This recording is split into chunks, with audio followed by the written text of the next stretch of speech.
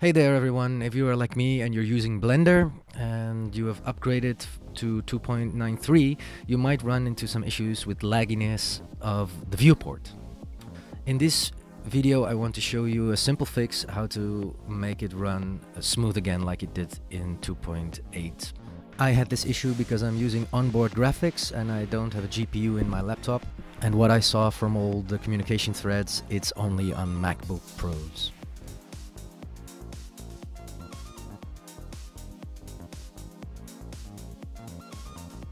So the fix is super simple. Basically all you have to do is go to your applications folder, look for the Blender file, right click it, uh, go to get info and there you will see an option you can mark open in low resolution.